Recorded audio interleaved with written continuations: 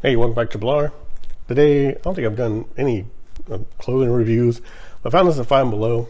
Um, I guess I just more than a post, but it was up here, so I will check it out really quick. Pretty cool Batman shirt. So it's the older Batman from uh, when he first came out. So they have all kinds of sizes. Luckily, at my size, extra large. Some comic book panels here, and it's it's readable, so that's nice.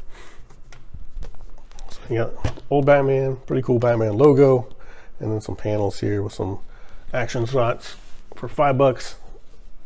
I think if you're a Batman fan, comic book fan, it's a good buy. So five below.